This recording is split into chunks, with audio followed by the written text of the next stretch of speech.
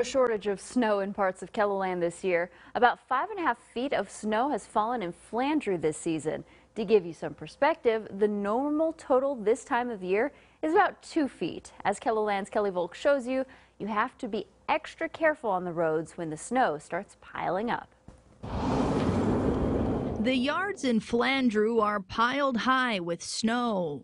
It's funny, I can hardly see cars go by because I just see the top of them. Iona Vignes and her neighbor, Judy Boz, are in similar boats. Have you ever had a pile this big in your yard? No, not since we've lived here, never.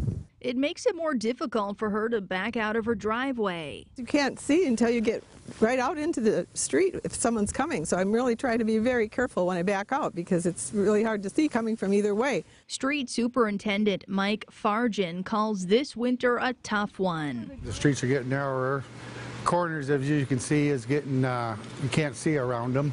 He's reminding drivers to be careful at the corners. While more snow is headed for Keloland, Boz is keeping this in mind. But I was watching the Alabama uh, tornado and I thought, we got to quit complaining here because it could be much worse.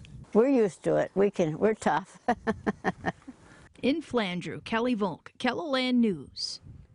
Fargen added, cars parked on the street can make it difficult for the plows. We've included the city's rules for parking during snow removal in this story at keloland.com.